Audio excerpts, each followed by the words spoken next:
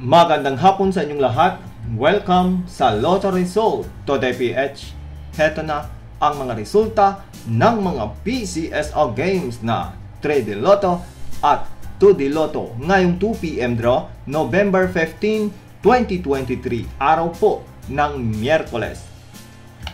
Para sa resulta ng 3D Lotto ngayong 2pm draw November 15, 2023 heto ang mga lumabas na numero 4, 1 at 6 in exact order.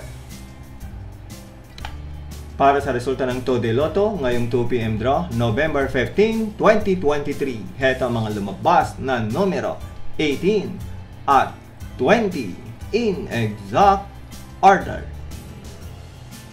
Muli, maraming salamat po sa panonood sa ating video ngayong 2pm draw.